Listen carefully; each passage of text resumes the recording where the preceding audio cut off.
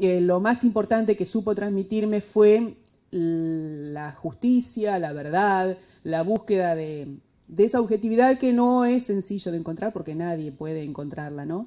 Pero sí la búsqueda y el afán este, por la lucha por la justicia. Bueno, no sé cuánto habré logrado aquello, pero por lo menos los principios realmente me lo supo transmitir. Y mm, también es bueno que recordemos que fue presidente de la Comisión de Derechos Humanos cuando recuperamos la democracia. Y no era sencillo hablar de estos temas en el país. Se constituyó una comisión, se hizo un trabajo muy importante que mm, dio luz a los hijos de bragados desaparecidos, se supo quiénes eran. Y también eh, en este caso quiero destacarlo en su faz personal, porque le ha tocado atravesar las pruebas más duras que puede sobrellevar un ser humano y él supo afrontarlas con entereza. Ha sido un excelente padre, me consta, y entonces creo que son méritos más que suficientes para que hoy lo reconozcamos. Eduardo, queremos entonces en nombre de los periodistas de Bragado hacerte entrega de esta plaqueta.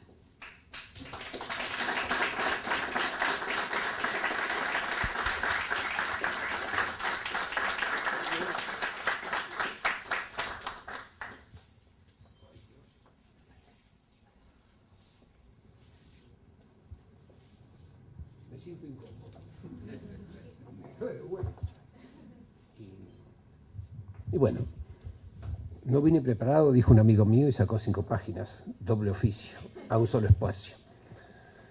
Eh,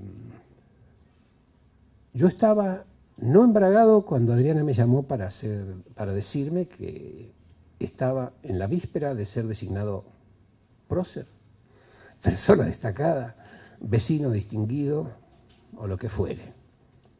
Me quedé con dudas, me quedé con dudas y lo pensé, lo pensé y, creí que por la gente que trabaja en esto y sigue, es decir, eh, por la gente que todos los días pelea, por la gente que estuvo conmigo, a los que me ayudaron. Piensen ustedes que yo vine acá el 31 de agosto del 74. Coco Soto, que no me conocía, me ofreció trabajo.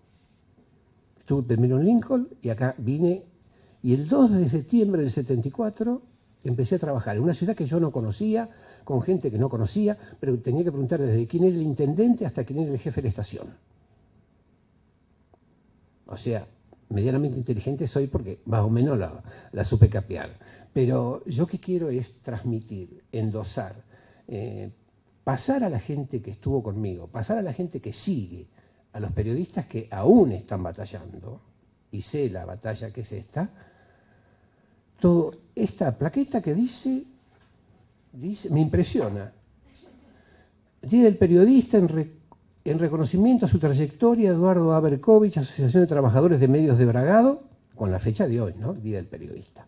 Yo les agradezco a todos. Eh, pienso que, no voy a decir que es inmerecido, pero que mm, me, da un poco de pudor, me da un poco de, no sé si vergüenza, no, vergüenza no, no me da vergüenza.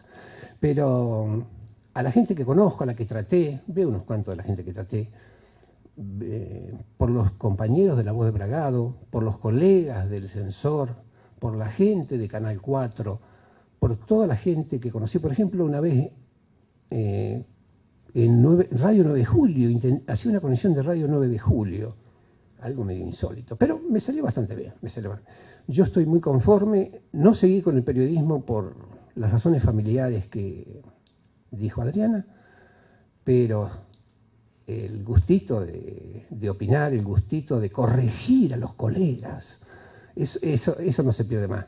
Eh, de preguntar junto con ellos cuando hacen un reportaje y decir, no le preguntaste esto. Mi hijo es testigo de eso de, que usan un término que a veces no está bien. Bueno, eso, eso queda. Y por todo eso, por lo que fui seguramente y por lo que van a hacer ustedes, gracias, pero muchas gracias.